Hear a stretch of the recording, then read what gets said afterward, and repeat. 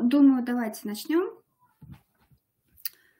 Остальные уже к нам дальше присоединятся.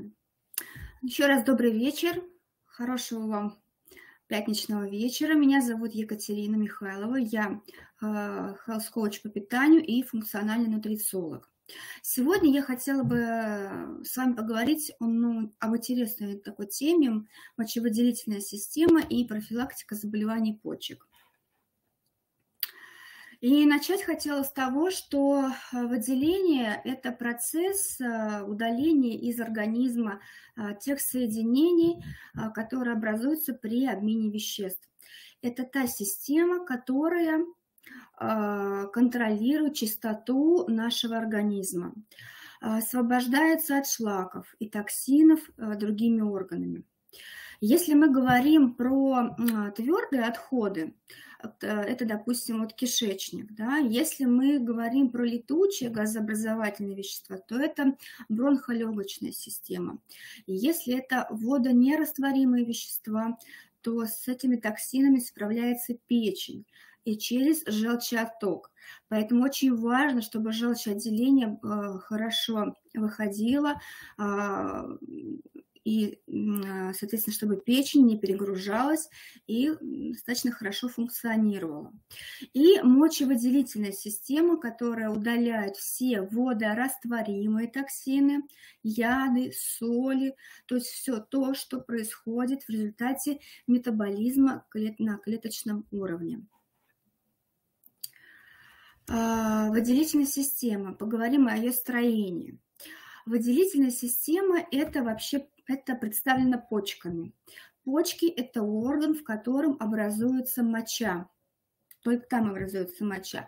А органы, которые и органы, которые выводят эту мочу.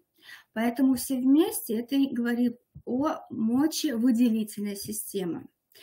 А, в почках моча концентрируется, она образуется и секретируется а все, что вышло после почек, такими капельными дозами, это все сочится по а, мочеточникам, вот мы видим, да, такие трубчатые. И дальше это все собирается в мочевой пузырь и дальше уже а, выводится извне через мочеиспускательный канал. То есть на самом деле такая структура простая, но доставляет немало хлопот при, если какой-то идет дисбаланс в этой системе.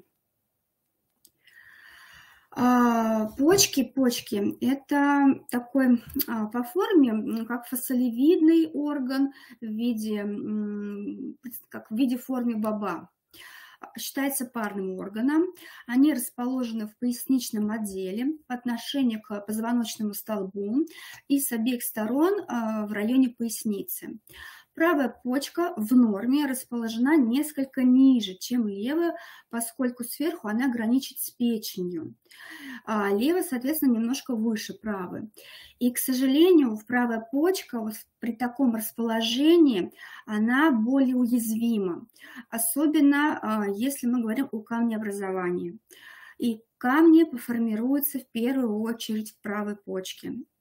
Размер а, почек составляет от 10 до 12 сантиметров, масса их а, где-то 120-130 грамм. А, размер почки и количество нефронов мы на самом деле получаем по наследству. Такой интересный факт.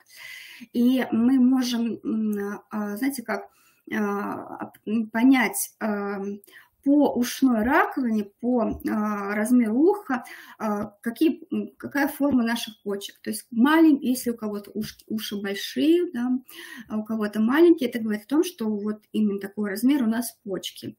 И а, если почка такая достаточно большая, то в ней вот много а, нефронов, то есть количество нефронов, которые нам передали мама с папой генетически по наследству. Такая почка здоровая и будет долго приносить здоровье своему хозяину.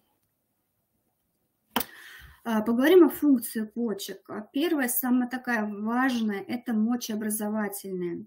Это выведение водорастворимых токсинов, конечных продуктов обмена веществ из организма.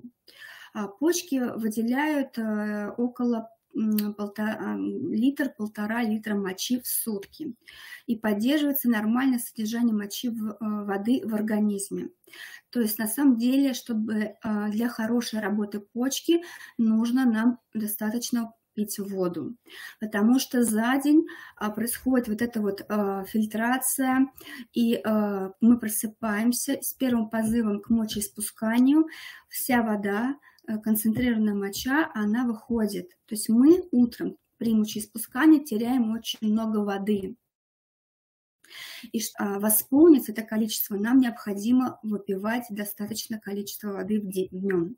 Если мы этого делать не будем, то почка будет страдать, будет недополучать тот нужный объем для, своей, а, для своего функционирования, для функции мочеобразования. Следующая функция – регулирующая артериальное давление. Она заключается в синтезе ренина. Ренин – это такой гормон, который помогает организму сохранить а, воду и регулирует объем циркули... циркулирующей крови. Дальше мы с вами поговорим. Э, это достаточно важная функция. Объясню почему. Э, дальше по слайдам. Регуляция кислотно-щелочного баланса функция. Участие кроветворения. Почка относится к, к, к тем органам, которые принимают активное участие в кроветворении. И для этого э, используется такой гормон эритропоэтин. Он, этот гормон специфический, стимулирующий образование эритроцитов в костном мозге. И для обновления этих эритроцитов он тоже участвует и регулирует артериальное давление. Этот гормон эритропоэтин и регуляция биохимического состава э, плазмы крови, так называемого онкотического давления крови. Так, ну теперь давайте разберемся по строению почки. А, почка, а, почка имеет а, капсулу, капсулу почки. Вот здесь вот, если видно, она проходит этот вот по всей почке такой внешний-внешний слой. Вообще внутри самой почки нет нервных окончаний. И получается, что почка нам никак не может сигнализировать через боль, что что-то с ней не так. То есть а, мы не можем понять, что у нас болят почки, то есть только когда совсем уже а, какие-то процессы идут активные, тогда да, происходит как это? А, может только растянуться, растянуться капсула. Вот эта капсула, она растягивается. Если будут формироваться камни, которые препятствуют стеканию мочи, и она, эта моча, она будет накапливаться в почке, и вторичная моча будет растягивать вот эту капсулу, и только тогда появится симптоматика о том, что почка перегружена, то есть она страдает, она не фильтрует, фильтрует, не фильтрует а, кровь и не выполняет свою функцию. И, э, соответственно, если не, не фильтру, нет фильтрации, то а, она начинает отравлять весь организм. Почки, вот запомните, это молчаливый орган, он а, никогда не, не скажет вам, что что-то не так, только если когда совсем уже дела не очень. Почка имеет также внешнюю капсулу, и она соединяется в такой соединительной тканью. Затем идет вот такое корковое вещество, корковый слой его еще называют. В нем вырабатывается как раз-таки гормон ренин э, чтобы э, поддерживать для работы почек вот это вот давление в артериях. И также э, синтезируется вот в этом корковом веществе эритропоэтин, гормон, о котором я рассказывала. Он именно регулирует э, обновление клеток крови, э, эритроцитов. А вот под корковым слоем, вот здесь, чуть ниже, как раз-таки мы можем видеть мозговое вещество, это мозговой, мозговой а, слой, это такой рабочий орган а, самой почки. И этот мозговой слой, он а, содержит такие пирамидки, их где-то насчитывается вот такие пирамидные образования, где-то 15-20 штук, и мозговое вещество почки именно относится к нефронам, то есть в них, в этом веществе находятся эти нефроны, там сосредоточены. Также у нас есть нижняя полая вена, почечная артерия, аорта, почечная лоханка, вот она отходит, почечная лоханка и э, мочеточник. Давайте а, расскажу про нефроны. А, нефроны – это структурно-функциональная единица почки. Это, можно так сказать, мозг а, самой почки. Он состоит из почечного тельца, вот оно, почечное тельце, и где происходит фильтрация в системе канальцев. Вот капсула нефрона, вот мы как видим, да, и вот это капиллярный клубочек, вот еще называется клубочковая фильтрация. Вот здесь таки происходит фильтрация плазмы крови. А, здесь, значит, дальше в этих клубочках происходит у нас фильтрация, а э, дальше видим еще сеть капилляров и извитой каналец. Вот как раз-таки а, в канальцах, канальцах происходит уже реабсорбция и уже по дальше выведение то есть секреция отработанных веществ. И э, в собирательную трубочку уже отходит.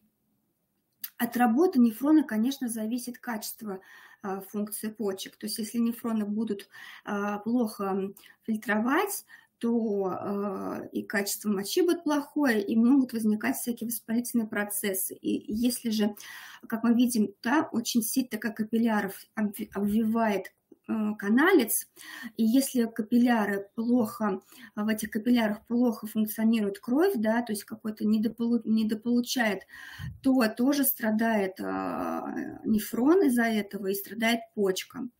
Поэтому очень важно поддерживать именно вот это вот а, состояние капилляров и давление в них.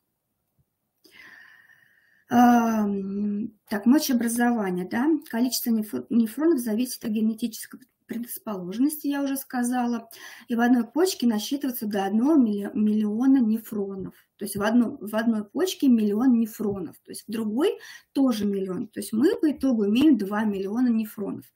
Но это, как я сказала, генетически заложено. Передается от мамы с папой.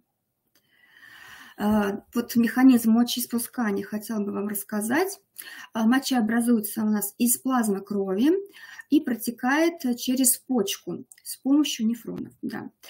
И мочеобразование осуществляется а, за счет трех процессов. Первое – это клубочковая фильтрация. Значит, фильтруется вода и низкомолекулярные компоненты из плазмы крови. В капсулу попадают а, с образованием, вот эта первичная моча образуется у нас именно вот в клубочках. Затем значит, происходит реабсорбция, то есть фильтрация этой крови. А, вот в этой, а, в этой первичной, в этой первичной моче на самом деле вот содержится много полезных веществ. Там витамины, аминокислоты, минеральные вещества. Вот, и чтобы вернуть в организм, вот, э, вот эта первичная моча проходит повторную фильтрацию, реабсорбцию. И уже, соответственно, уже э, конечный продукт этой переработки – это уже сама моча желто, светло-желтого цвета, а, и, соответственно, выводится из организма. Э, там уже содержится в этой окончательной моче концентрированный раствор вот этих уже ненужных веществ и токсинов. А, соответственно, значит, реабсорбция у нас проходит именно вот здесь, по вот этим вот канальцам, и уже секреция выходит через трубочку. Вот процесс переноса из крови в просвет канальцев. Да? Моча капельно вот выделяется в почечные чашечки, которые собирают мочу в лоханку, и от лоханки отходит мочеточник через собирательную трубочку. Вот здесь через собирательную трубочку уходит все происходит секреция. А, вода, мочевая кислота, мочевина, минеральные вещества и, соответственно, уже все токсины, которые в процессе были а, отфильтрованы, реабсорбированы и уже секретируются через мочевыделительные каналы. А, вообще почки на самом деле очень такие трудяшки, они очень, они работают постоянно, без выходных. И а, такую интересную информацию нашла, что они прокачивают за день 2 тонны крови, то есть 35 раз прокачивается в организме человека. И из этих 2 тонн крови образуется 150-200 литров первичной мочи а выводится только полтора-два литра мочи. То есть это колоссальная, это огромная нагрузка а, на этот орган. Вот, а, значит, э, на фильтрацию идет не вся артериальная кровь, а только 20% от кровотока, а, который именно формируется в аорте. Литр крови идет на фильтрацию в почечной артерии, а в, это, а в этом литре крови где-то 55% плазмы, которая фильтруется в почках. И за сутки образуется 200 литров первичной мочи.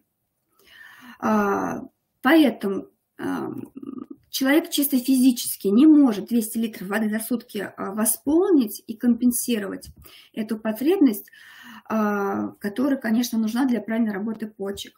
Поэтому и существует вот эта реабсорбция, которая на итогу мы получаем, выводится только полтора-два литра и для качественной работы почек, конкретно для э, нефрона, для качественной работы нефрона требуется не менее 2 литров воды. Поэтому я и говорю, что старайтесь э, пить, распаиваться в организм. Это не только полезно для пищеварения, но, как выясняется, выясняется и для почек, для их, а точнее для работы нефронов. Э, не менее 2 литров воды в день функция регуляции артериального давления. Тоже очень важный момент. Хотела бы вам рассказать, что а, в почках фильтруется всегда артериальная кровь. Э, венозная, она получается на выходе. И на фильтрацию поступает артериальная кровь, как я уже говорила. Во-первых, она течет под давлением. И когда мы смотрим на артериальное давление, когда мы измеряем, вот, э, как показано на слайде, измеряем свое артериальное давление, то мы смотрим на верхнее оно называется систолическое, и смотрим на нижнее, диастолическое. И тут важно понимать, что именно нижняя цифра артериального давления, вот именно диастолическая, она поддерживается почками через э, гормон ренин. И если почки, они зашлакованы, а они плохо работают и не справляются со своей фильтрационной способностью, то они выделяют вот этот гормон, гормон ренин, на поддержание диастолического давления. И, соответственно, если у вас нижнее, нижнее диастолическое давление высокое, это говорит о том, что вам нужно задуматься, а как у вас работают почки, что с ними, в каком они состоянии. Значит, э, что-то не так там, значит, какая-то есть проблема. Если а, повышается это давление, значит, э, этот гормон вырабатывается его много вырабатывается, и он а, для того, чтобы поддержать вот это давление для работы почек. И очень часто за рубежом вот оценку сосудистого заболевания, как гипертония, именно оценивается не по вот верхнему, как мы привыкли да, считать, а именно по нижнему, по диастолическому давлению. Так что можете все проверить и такую некую диагностику сделать по артериальному давлению, как работают у вас э, почки, справляются ли они со своей функцией. Дальше пойдем по мочеточнику и мочевой пузырь. Рассмотрим мочеточники.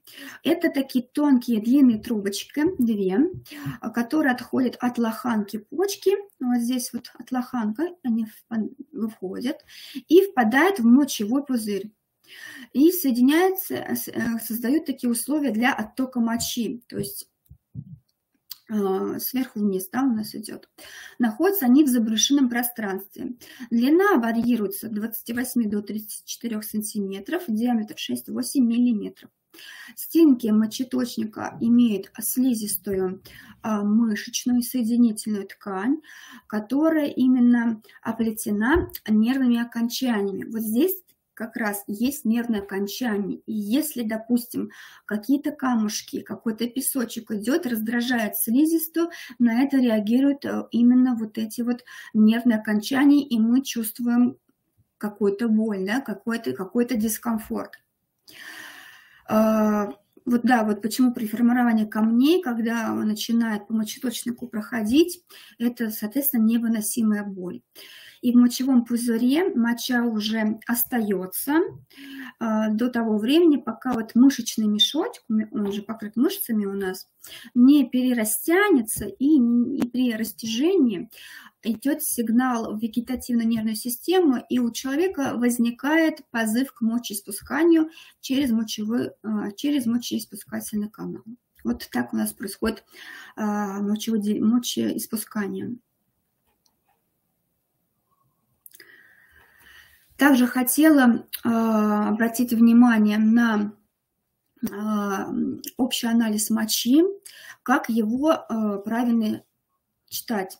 Потому что, э, когда вы сдаете анализ мочи, получаете бланк, не всегда врачи, ну, как-то, знаете, ну, ну, не серьезно относятся, а, ну, они-то знают это все, но не как до пациента не доносят информацию. Вот хотелось бы, чтобы вы немножечко стали разбираться. А, давайте посмотрим. Начнем с количества мочи в сутки. Здесь представлено от 800 до 1500 а, миллилитров. На самом деле 800 это просто минимум. Это тот минимум, это мало.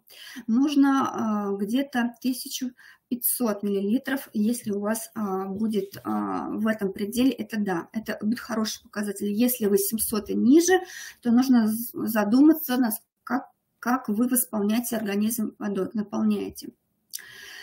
А относительно плотность э, в утренней порции мочи а, тоже нужно посмотреть, а, но от 1015 до 1025 грамм на литр. Цвет обязательно надо посмотреть, чтобы не было никакой мути, чтобы она была светлая, э, соломенно-желтого цвета. Прозрачность должна быть прозрачная. Реакция pH нейтральная или слабокислая. А вообще, я вам так скажу, что с утра моча должна быть у нас такая слабокислая, поскольку за ночь произошла все, э, так, э, она концентрированная, прошла все пути, а, отфильтрованная. И э, в течение дня, уже когда мы кушаем, когда мы пьем, то она должна быть у нас ну, как бы нейтральный, а к вечеру уже более-менее щелочной. Если у вас в конце дня кислое, то это говорит о том, что фильтрация плохо прошла, то есть почки где-то сбоят.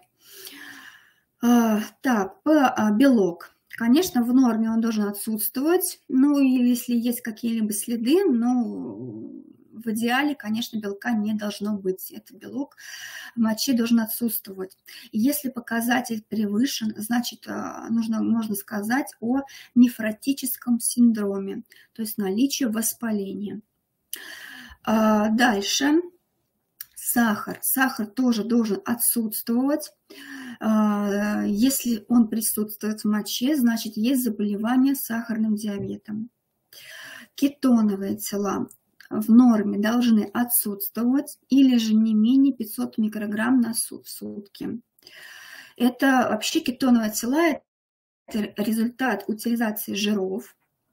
Если они присутствуют, значит, а, жиры плохо усвоили, значит, здесь еще и замешан желудочно-кишечный тракт, то есть что-то там, а, видимо, может быть, ферментативная недостаточность. Здесь нужно вот так. Моча, вот видите, как моча, она такой диагностический даже орган, он показывает, так как это конечный продукт мы в итоге имеем, мы можем понять, а, помимо да, мочевыделительной системы, где у нас еще ну, как бы, пробоины в организме. А, пигментные пятна тоже должны отсутствовать. Если же, допустим, вы съели какие-то красящие овощи, ну, например, это свекла, то а, должна она именно мочи, ну, как бы сработать вся желудочно-кишечная цепочка. То есть, когда вы съели да, какое-то красящее вещество, овощ, то вот эта цепочка желудочно-кишечная должна как бы сработать а, от желудка до, а, фильтра, до ферментации печени. То есть, э, если моча она окрашивается, значит, на каком-то этапе да, не хватило ферментов. И для утилизации вот этих пигментных а, пятен. И, соответственно, э, это все оказалось в моче. Мочевина. Мочевина у нас а, где-то 20-25 грамм у нас в сутки. А, мочевые кислоты до 800 миллиграмм в суточной моче должно присутствовать. Если больше, то значит, какие-то есть неполадки. Креатинин должен полностью выводиться у нас из организма, так как этот результат, это результат утилизации мышечной ткани. И если креатинин в анализе крови а, повышен, значит почки плохо выводят. Это указывает на а, плохую фильтрацию, опять-таки. И это еще и говорит нам о разрушении а, скелетной мускулатуры. Вот так вот, э, в общем, сдать анализ мочи, и уже можно понять, э, что и как у нас работает. Тоже достаточно э, показательный анализ. Кислотно-щелочной показатель – Здесь, значит, также в анализе мы можем посмотреть, а, моча должна быть утром слабо кислая или нейтральная. А, проверить это, знаете, вот не всегда а, есть возможность мочу сдать, ну, по каким-то причинам.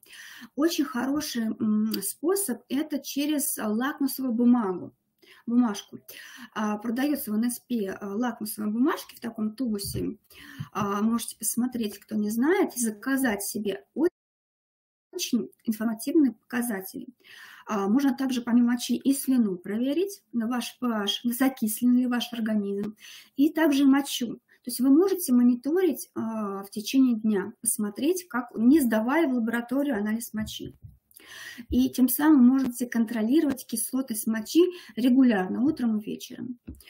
А в ночное время, когда мы спим, организм с, а, с помощью антидиуретического гормона, это гормон гипофиза, он а, препятствует выделению мочи. То есть в хорошем случае, в хорошем случае мы ночью должны спать, мы не должны бегать в туалет. И за это время, когда мы спим, мы в туалет не ходим, и концентрируется, вот эта сильная концентрация мочи происходит. И так как почки, они отфильтровали вот эти вот кислые соли, то по утрам имеет, эм, имеет такую слабую кислую реакцию мочи, то есть pH от 6-6,5, не ниже и не выше. То есть вы берете эту лакмусовую бумажку, и проверяете, какая у вас моча. В течение дня и вечером моча должна быть нейтральная, в районе 7, или слабощелочная, до 7,5. Вот, также пришли, проверили, посмотрели. То есть э, моча не должна быть кислой, если, потому что в течение дня мы не накапливаем соли. Мы как я объясняла уже, мы кушаем, принимаем пищу, а, пьем, а, ходим в туалет, поэтому как бы соли мы не накапливаем. Это все происходит в ночное время. И а, вот видно на слайде по прозрачной моче, да, что, о чем он говорит. Мы слишком много пьем воду, то есть нужно сделать паузу на некоторое время. То есть если мы перебарщиваем, по воде, да, такое может быть на самом деле, или пьем неправильно, залпом, вот, хотя воду нужно пить как, смакуя, глот, небольшими глоточками, так, чтобы она у нас поступала во все клетки. Если мы быстрыми глотками пьем воду, она у нас быстро транзитом проходит по, по желудочно-кишечному да, тракту и дальше, и просто она работает на, на выделение. То есть мы попили быстро и, она, и пошли в туалет, в туалет сходили. Поэтому у нас и прозрачная моча. Если цвет лимонада, значит оптимальное количество воды. Значит, все хорошо. Э, продолжаем в том же духе. Э, цвет светлого пива, тоже достаточное количество воды, продолжаем. А вот уже если янтарный цвет такой вот, вот да, он э, более концентрированный, уже стоит, э, не стоит волноваться, но а, немножечко воду, да, надо выпить, выпить больше воды. Это уже показывает на небольшой такой а, то, что вы обезвожены. И уже совсем уже такой, знаете, желтый апельсинового цвета, это говорит о том, что воды не хватает и очень большая обезвоженность. И а, надо пить больше воды и элект, даже уже подключать электролиты. Да.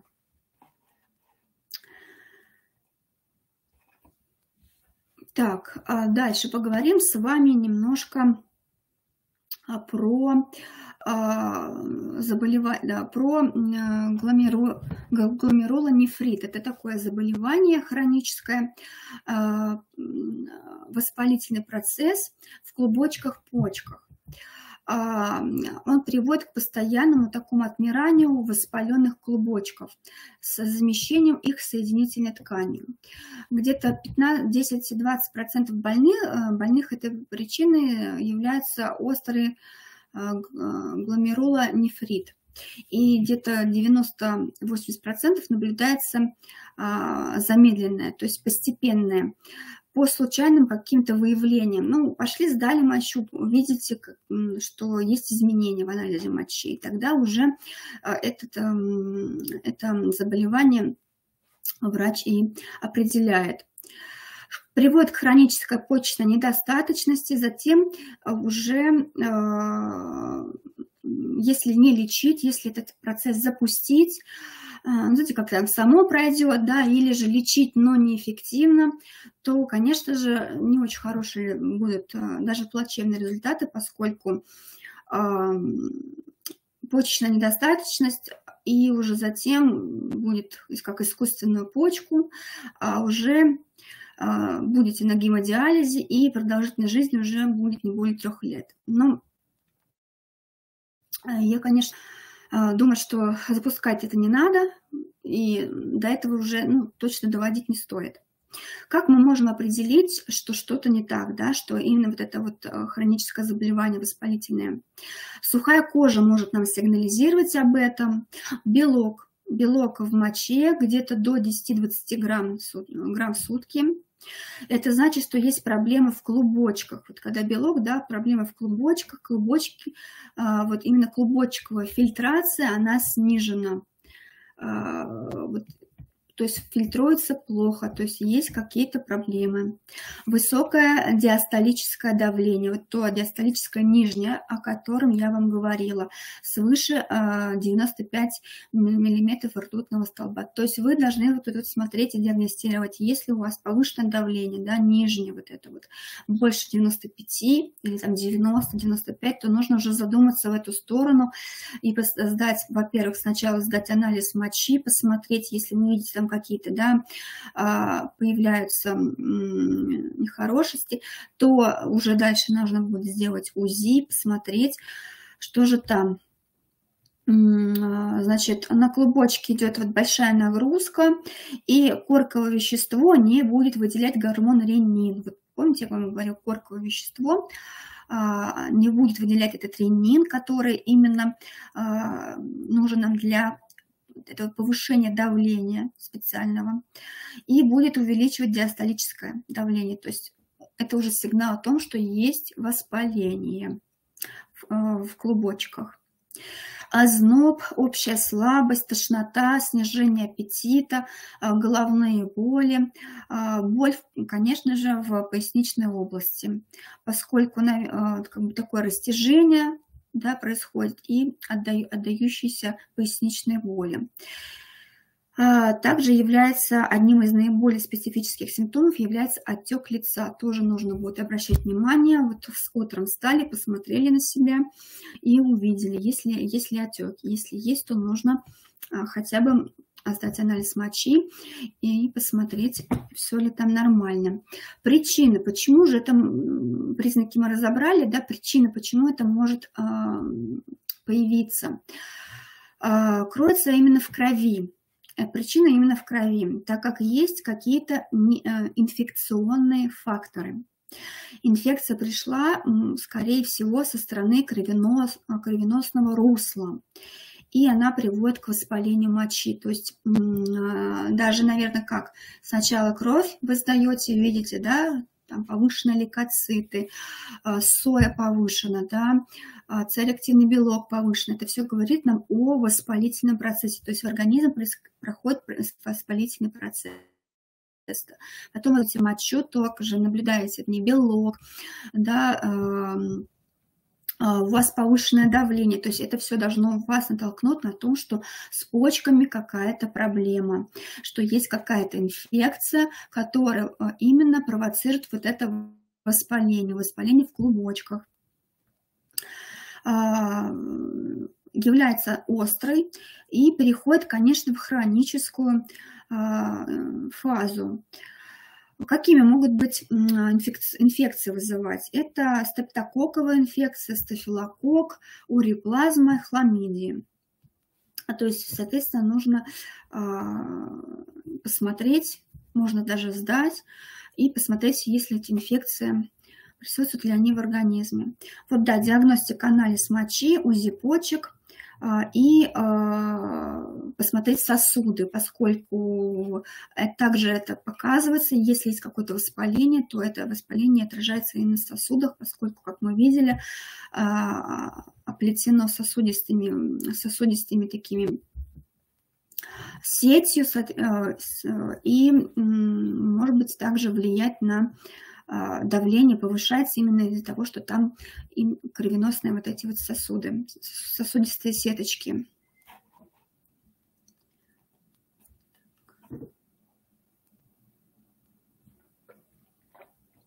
Пилонефрит.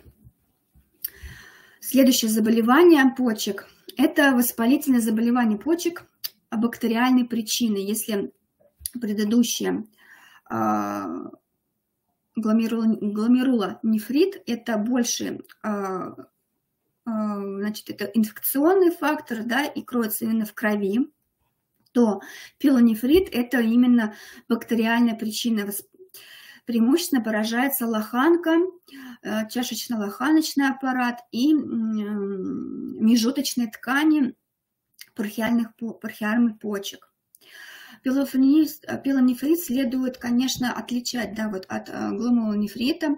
Они обе формы характеризуют э, воспалением, но при пилонефрите э, поражается межуточная ткань, а при гломерулонефрите именно клубочек почек. почек. А женщины пилонефритом страдают больше, больше чаще болеют, потому что из-за строения мочеиспускательного канала он короткий. Вот из-за этого, конечно же, бактериям проще добраться а, до, а, а, до почек, чем, допустим, если сравнивать с строением у мужчин. Признаки. Это лихорадка, высокая температура, боль в спине, повышенная утомляемость, моча мутная. В моче появляются лейкоциты. Вот здесь вот лейкоциты мы можем увидеть. Эпителий, случайный такой, да, эпителий, который именно слушивается в мочеточниках. То есть все, если мы увидели эпителий, значит слизистая страдает, слушивается в, моче, в в мочеточниках, значит, есть какая-то проблема. А, есть именно воспалительная реакция в почках и увеличение объема мочи в ночное время. То есть хочется по, по. Причина пилонефрита – бактериальная инфекция, которая пришла из кишечника. Вот Среди возбудителей заболевания, конечно же, это кишечная палочка шерихи коли. Реже встречаются другие микробы, такие как протеи, энтерококи, синегнойная палочка, золотистый стафилококк, клепсиела. Инфекция попадает э, восходя, э, восходящими путями из мочевого пузыря по мочеточникам. Да? То есть э, из кишечника, там очень все рядышком и э, восходящим путем через мочевой пузырь и по мочеточникам. Производится анализ мочи на бактериальный посев. Вы можете, если э, вы все диагностировали пилонефрит, вы можете э, сдать посев бактериальные и посмотреть, какие именно а, бактерии населяют и в, как, в, как, в, какой, в каком количестве, какая именно, может быть, это клепсиела, может, это золотистый стафилококк, и, конечно же, нужно принимать меры, потому что чем больше будет, тем быстрее будет воспалительный процесс протекать. Цистит. Ну, скорее всего, что все, наверное, когда-либо, к сожалению, испытывали это очень неприятное заболевание, как цистит. Это воспаление мочевого пузыря, а затрагивающее слизистую оболочку мочевого пузыря. Обычно заболевание вызывается микроорганизмами то есть диагностируется как бактери... А, бактериальный цистит. Но может, кстати, развиваться и без участия а, патогена микрофлоры. Да, есть еще и аллергические, и токсические а, цистит. Он возникает вследствие попадания в мочевой пузырь микроорганизмов. В 80-95% случаев это кишечная палочка, которая обитает, а, обитающая в расположенной поблизости от органов мочевыделения, мочевыделения а, прямая кишка, и оттуда может перекочевать именно в, в мочевой пузырь, и там, как я уже говорила, по восходящей, а, в мочеточникам и уже в почке. А, значит, э, Воспаление вызывается и другими микробами, стафилококками, энтерококками, возбудителями также половых инфекций, хламидии, трихомонады, грибы кандида, вирус герпеса. Тоже можете проверить. Если э, частые циститы, ну вот прям замучили, смотрите в эту сторону, да, значит где-то есть вот эти вот эм, хорошие, а, хламидии, кандида. А, нужно это все, конечно, лечить. Нельзя ни в коем случае потому что это приводит к очень хорошим последствиям и к осложнениям. Потому что все начинается с цистита, потом пилонефрит, а потом уже и э, совсем плохому. Симптомы и признаки. Постоянный позыв к мочеиспусканию, ощущение жжения, кровь в моче, неприятный запах мочи и в анализе мочи эритроциты и лейкоциты также присутствуют. Но это, наверное, уже такой запущенный случай, когда а, ну, думаю, что пройдет само. Нет, само не пройдет, это нужно лечить. А дальше переходим, поговорим с вами про профилактику. Профилактика воспаления мочевыделительной системы. А, вот э, очень в это нам помогут а, препараты НСП. Компании НСП, они а, влияют очень хорошо на организм и не токсично, не пагубно. То есть вот если мы разберем колодное серебро, отличное средство, просто уникальное, потому что, ну, я даже поставила бы равно э, антибиотикам потому что подавляет жизнедеятельность патогенных бактерий, вирусов и грибов. То, о чем мы с вами только что говорили. То есть э, многие пьют э, антибиотики, а я вот, вот вам советую попробовать коллоидное серебро. Во-первых, это не так пагубно, вообще не влияет на микрофлору кишечника, но борется замечательно с вот этими вот патогенами антисептическое средство для наружного и внутреннего применения. То есть его и не только можно внутрь, но и на, а, наружно применять. Является прекрасной альтернативой антибиотикам, о том, что я сейчас вот сказала. Содержит серебро в виде микроскопических частиц в коллоидном растворе. Это обеспечивает максимальную биодоступность активного вещества способствует выведению из организма солей тяжелых металлов и токсинов. Не токсично. То есть если у вас а, какие-то вот первые признаки, да, а, ощущения, а, то смело вам рекомендую коллоидное серебро. При, прям принимать внутрь. Следующий помощник это э, про профилактики воспалительных а, воспалений в мочевыделительной системы подаркам. Это антибактериальное и антигрибковое вещество. Находятся лапохол и ксиладин. Они активны в отношении граммоположительных и граммоотрицательных бактерий. И многих видов грибов, в том числе и вагинальных. То есть, пожалуйста, да, дрожжи также спра э, справляются с дрожжами и некоторых внутриклеточных паразитов.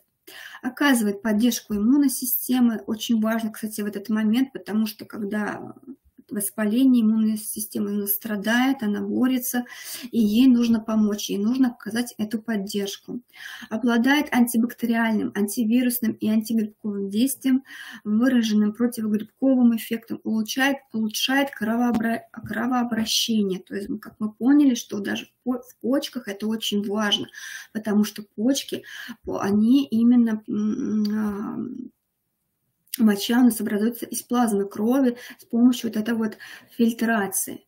Если у нас будет плохо кровоснабжение осуществляться, то вот эта вот фильтрация будет нарушена.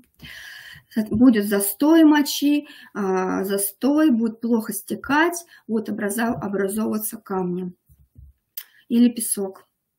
И воспаление будет, конечно же, из-за этого. Э, когда где застойное явление, там же воспаление.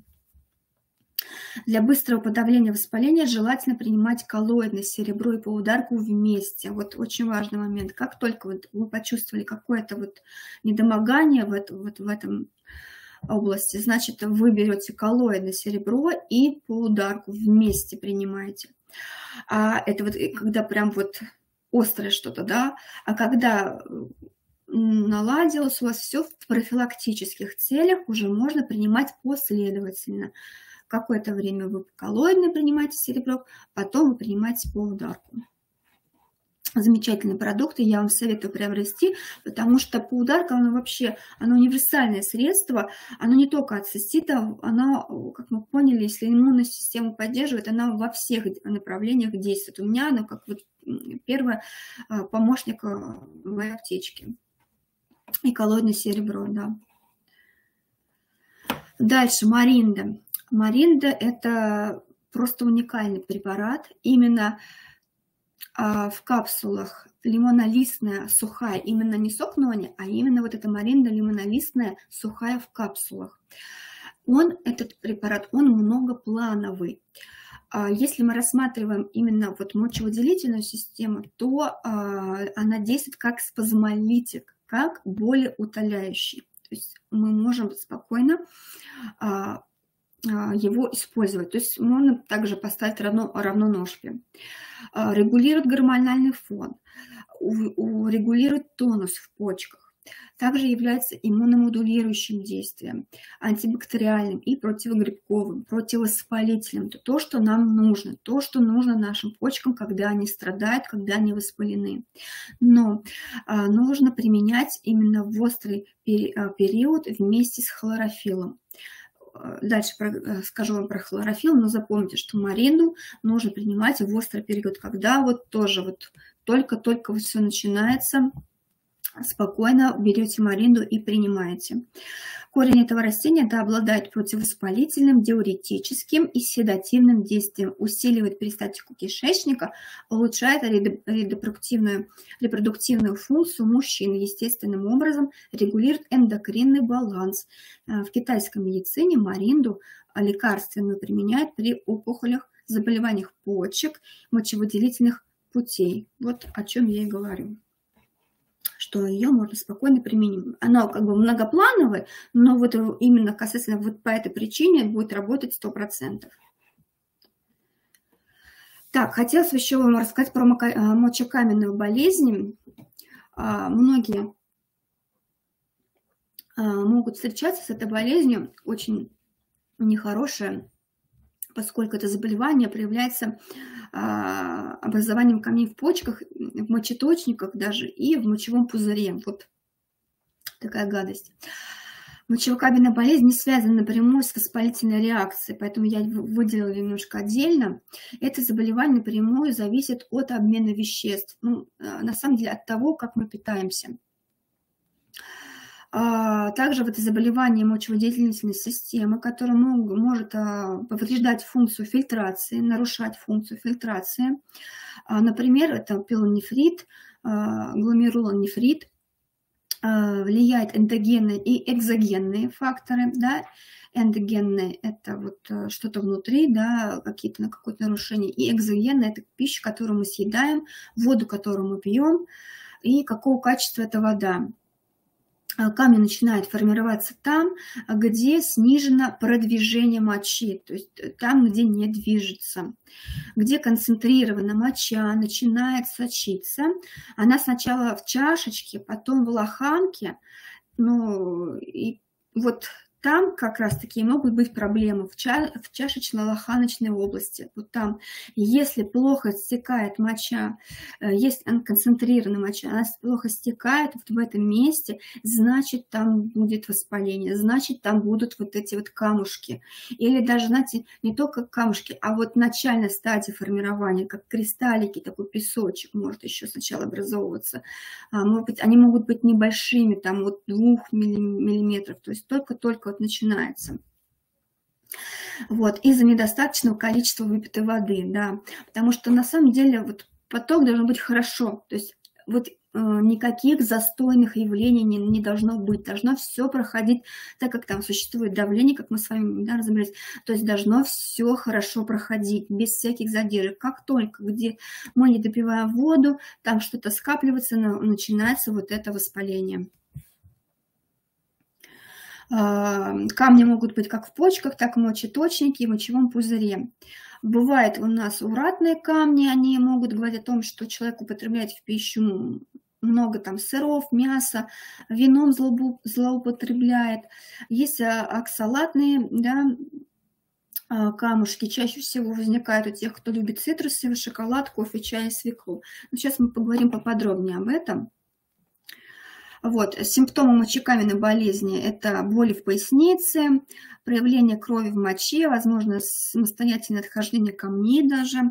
Боли э, носят такой тупой, ноющий характер, в основном, э, когда физически какая-то нагрузка происходит, и они начинают двигаться. А, значит, также а, в положении лежа может быть боль, кровь в моче появляется обычно после сильной боли или после физической нагрузки, ходьбы. То есть эм, после таких вот физических упражнений, да, каких-либо, вот, можно, допустим, ну, у себя наблюдать в моче кровь. И после сильного приступа боли также могут отходить камни. Да, это очень, когда это поч, почечная колика, это, конечно, да, малоприятное зрелище. Так, вот, хотела бы поговорить про, про камни, какие они бывают. И на самом деле очень важно, даже если у вас диагностировали камни, то нужно понять природу, а, какие именно. Вот э, есть ураты, 5-10%. Это такие натриевые соли мочевой кислоты. Часто они вот, э, причина это подагра. pH мочи э, меньше 5,5. То есть моча должна быть кислая. Если кислое, то значит в образовании уратов. Избыточное поступление белков, недостаток ферментов, распад собственных белков. Очень хорошо они растворяются в щелочной среде. Да, это не приговор, на самом деле, а вот именно камни а, вот ураты, их можно спокойно а, растворить. Но для этого нужна у нас щелочная среда. А, они э, потихонечку можно это все, э, они будут потихоньку э, растворяться и выходить. Фосфаты. 10-15% это соли фосфорной кислоты, появляются в моче белыми хлопьями. Вот, кстати, вот вы можете, допустим, набрать банку мочи и посмотреть, какая у вас моча. Если там присутствуют белые хлопья, то есть вы уже можете как бы диагностировать, что, возможно, есть превышение фосфатов. Вот, моча, по, если вы будете мерить по pH-балансу, то есть она должна быть, а, она будет у вас все время щелочной, то есть все время, то есть pH больше 7. А мы знаем, что с утра она должна быть кислой, а в течение дня, допустим, нейтральной, а вечером у вас уже должна быть она щелочная. Если она у вас всегда и днем, и утром щелочная, щелочная значит, значит фосфаты, присутствуют в моче фосфаты избыточное употребление консервов, да, вот э, в основном, в основном рыбные, овощи. Те, те, кто вегетарианцы, тоже должны об этом понимать, знать, что если на растительном питании, то могут быть образоваться фосфаты. И недостаток, цит, э, недостаток цитрусовых. Очень хорошо также они растворяются в щелочной э, среде. Также могут, да, если не диагностируются, то можно спокойно их растворить. А вот оксалаты 80% составляют, это именно скопление солей кальция и щавелевой кислоты. pH всегда нейтрально кислая. То есть, если вы проверяете да, в течение дня и постоянно у вас нейтрально кислое, значит это оксалаты. Причины – это избыточное потребление кальция, э, кальциевых препаратов, особенно если э, это ночные часы да, перед сном. И э, разрушается костная ткань, да, если, если у человека остеопороз, то есть из, из костей вымывается кальций, и этот кальций, он может также откладываться вот в почках в виде оксалата, в виде вот таких камушков. Поэтому вот вас очень прошу с кальциевыми препаратами и вообще с применением кальция, особенно вот эм, пожилые люди, не стоит, не стоит этим злоупотреблять, потому что это еще риск и тромбозов, э, ну, не стоит оно того, не стоит. А потому что, посмотрите, знаете как, не в сторону кальция, а в сторону магния. Потому что магний, магний и вот э, витамин В6, они могут эти оксалаты растворить. Это, конечно, процесс не быстрый, это такой длительный процесс, но магний может спокойно это сделать, потому что магний является антагонистом кальция, то есть он вытесняет этот кальций. Поэтому посмотрите в другую сторону. Вот на, на слайде можем видеть, как выглядят фосфатные, да, вот такие вот они черненькие, некрасивые, уратные, уратные такие миленькие, миленькие камушки, и оксалатные в виде такой звездочки. Следующий, значит, препарат – это уралакс. Еще его называют почечный чай на каждый день. Очень хороший препарат – а, просто замечательный.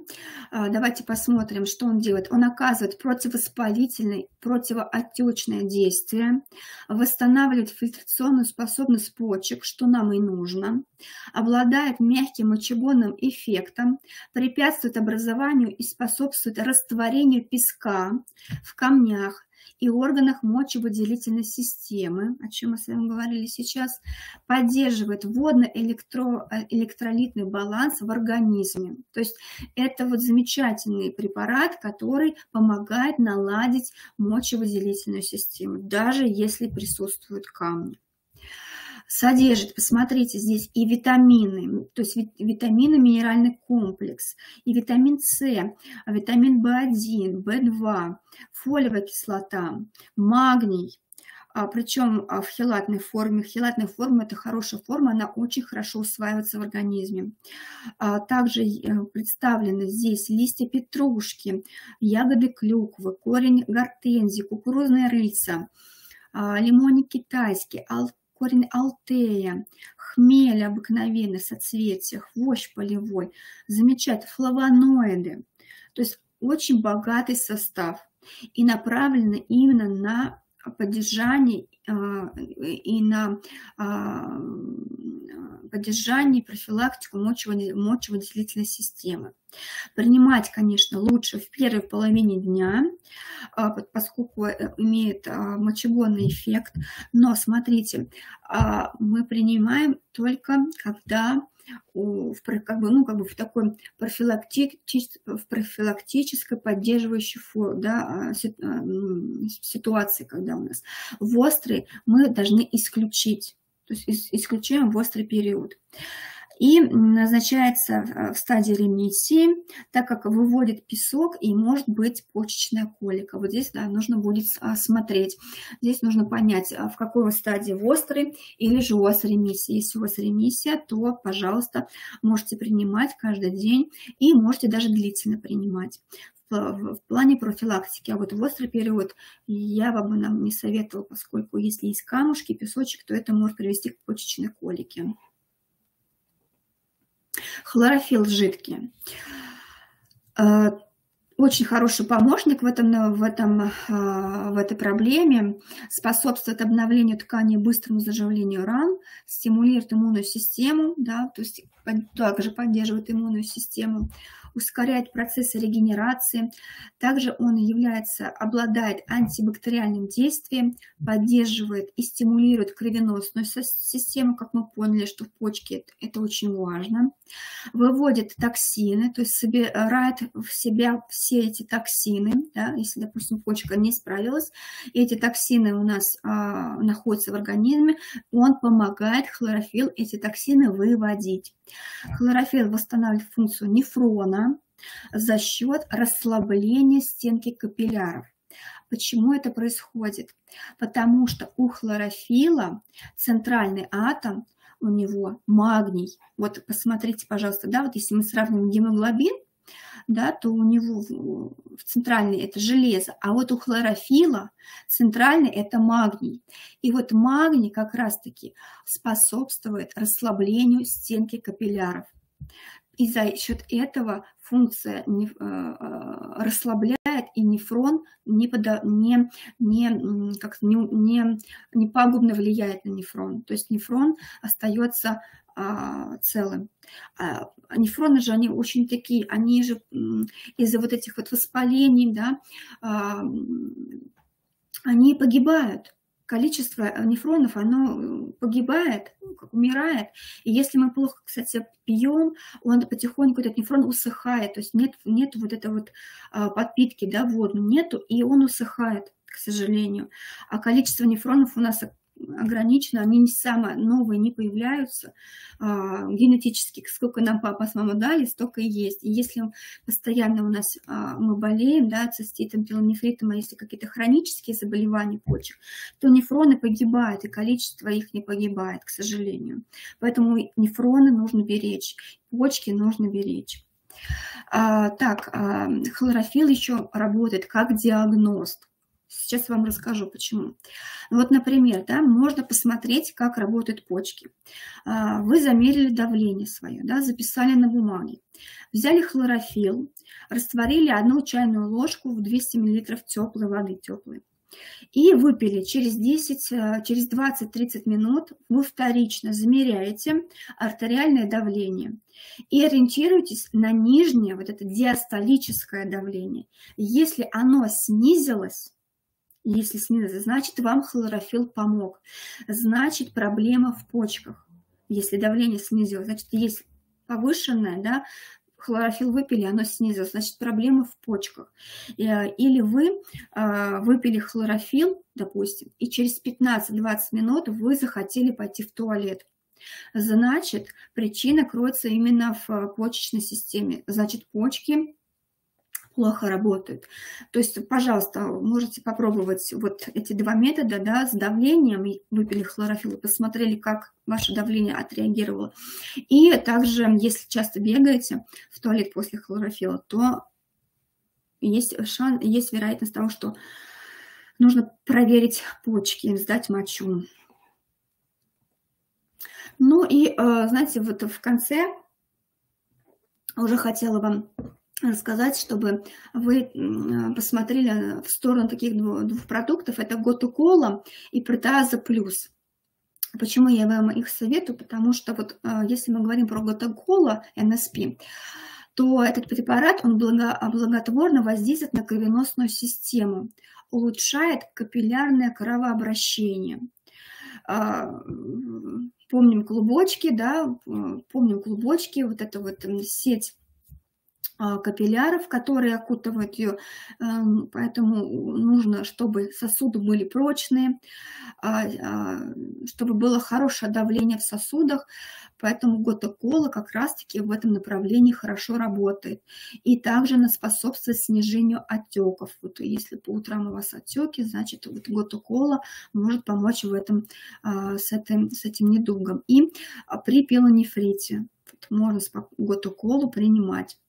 А, протаза плюс.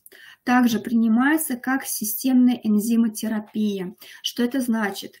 А протеаза плюс можно принимать как ферментно, да, как ферменты, это во время, во время э, приема пищи вы принимаете ее. Оно просто будет вам расщеплять белки, жиры, углеводы, да, то есть именно помогать в пищеварении. А если вы будете принимать между приемом пищи, то а, она будет работать как системная энзимотерапия, то есть а, профилактика будет от токсических отложений. Это, то есть токсины не будут накапливаться в, в организме и эм, то есть не будет возникать опухоли, не будут образовываться кисты, фиброзы. А, то есть э, протеаза плюс будет как раз-таки именно, а, ну как это, расщеплять, растворять вот, э, вот эти вот а, образования. Потому что э, также еще обладает противовоспалительной и противоотечной эффективностью, улучшает процессы микроциркуляции и регенерации и является хорошим иммуномодулятором. Тоже очень достойный препарат обратите внимание, да, если есть склонность у вас к каким-то образованиям, каким-то вот э, токсическим проявлениям, то протаза плюс как системная энзимотерапия э, вам поможет.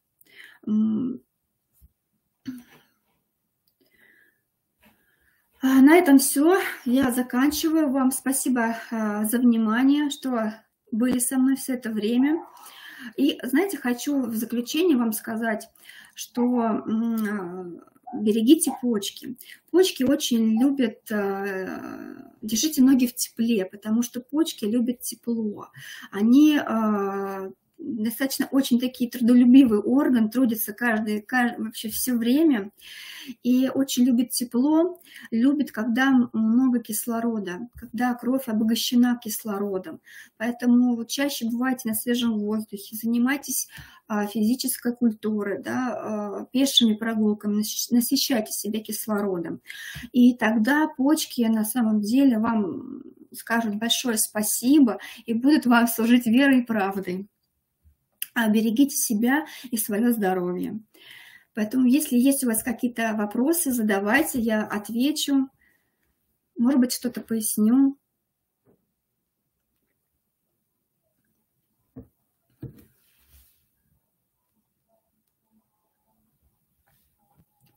Да, старалась вам э, рассказать интересные факты, как-то более доступно объяснить.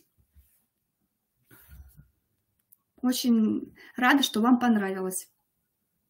Может быть, даже кто-то что-то для себя новое открыл, узнал по продуктам НСП.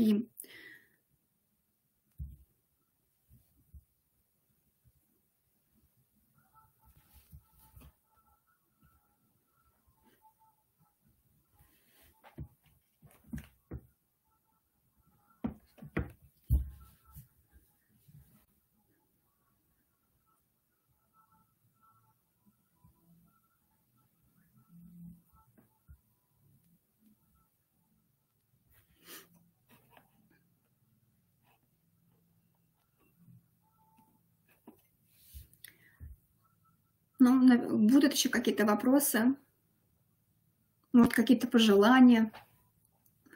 Пока есть время, пишите, не стесняйтесь.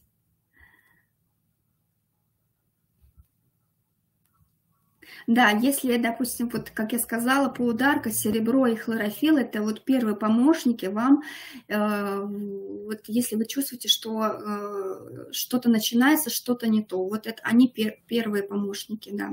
И Маринда. Маринда тоже поможет. Именно вот в острый период замечательные помощники. Да, Маринда именно вот это в капсулах, капсулированная, сухая. Потому что Маринда еще есть как сукно, не, я вам рекомендую именно вот Маринду в капсулах.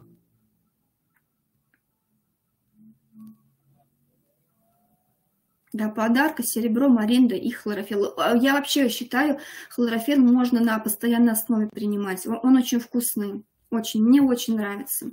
Он же еще хороший детоксикант. А, и гемоглобин повышает. Вообще с ним вкусно. на такой коктейль себе можно даже сделать приятный.